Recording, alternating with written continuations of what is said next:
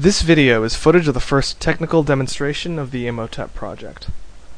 Because the demo involved recording, rendering, and projecting each scene within the span of 30 minutes, the result is merely a draft version of the ideas. Nonetheless, the following two scenes should communicate the basic idea of an imaginary friend on stage and the possibilities it creates.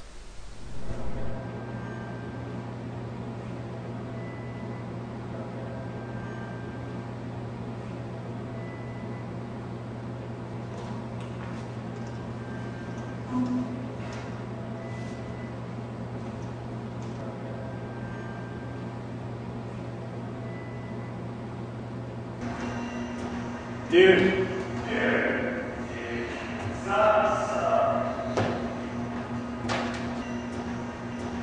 For more information about this project, please visit our website at imhotepproject.com.